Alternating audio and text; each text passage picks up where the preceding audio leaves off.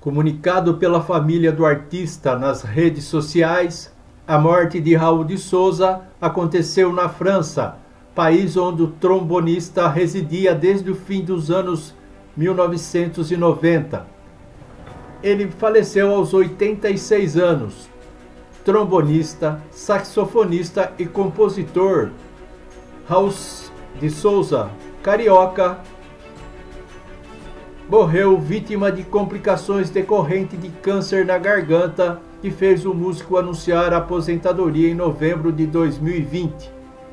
Em 2009, ele esteve aqui no Sesc Araraquara, onde, felizmente, eu, mais o Tude, Scute e outras pessoas estivemos com ele após o brilhante show que ele apresentou no teatro.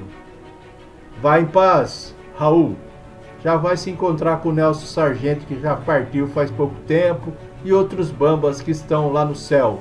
Valeu, Raul, obrigado. Até ser abatido pelo câncer, Raul de Souza nunca deixou de tocar, fazer show e gravar disco.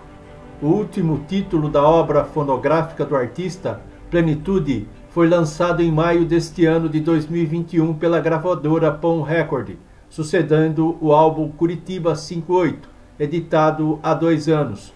Por mais que tenha corrido o mundo com a liberdade do jazz, Raul de Souza jamais esqueceu o swing brasileiro, matéria-prima de obra dominada pelo samba com bossa, o samba com jazz.